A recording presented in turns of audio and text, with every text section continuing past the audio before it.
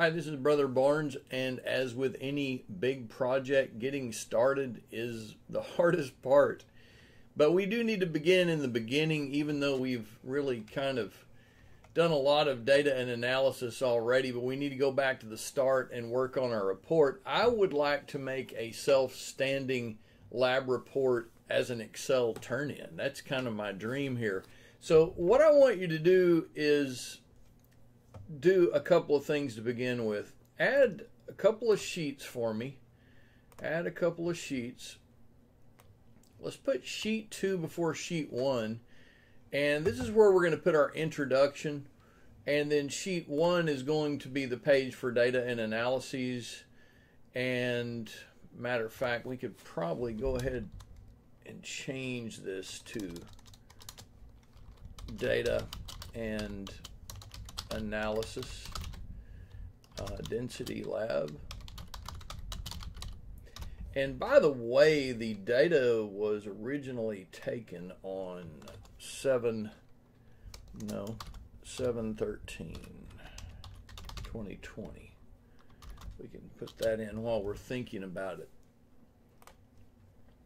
Let's go back to sheet 2. And what I want you to do is insert a text box. Give me a large text box, kind of in the center. And I want you to go to darrellbarnes.blog and I want you to look at this blog post called Writing a Lab Report. And I want you to click on Lab Report Format for Word document and then copy the format so that it can be pasted into this Excel document. So if I right click and paste, there it is. There is the lab report format. And I'm going to separate this out just a little bit to kind of get started. Materials, data. Data with dates and collections and calculations are on the next page. They're on sheet one. So this information is going to be sheet three. And let's back this up a little bit. And let's take let's take out this. Let's cut that. All right. And let's go to sheet three. And then let's do the same thing. Let's insert a text box. Just put it right in the middle. And let's paste what we just cut. This page will be our discussions, discussion and analysis and calculation of experimental error, conclusion,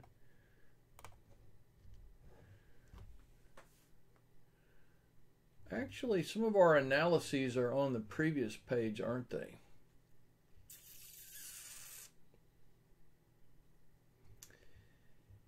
In this case, we did a box plot analysis. So let's let's cut this part out. I, I know I'm being a little bit tricky. And let's put let's leave discussion on this page. Let's leave that here. And then let's go back to sheet one. And is there any place that we could put a text box here and we can come back and meddle with it later? Let's insert a, a text box right in this area right here. There's a little empty spot right here and I hope it doesn't overtake the information. Date with dates of collection, calculations, discussion and analysis. We're going to do our discussion on the last page. So let's say analysis, including titled. Yes, we have that here, don't we?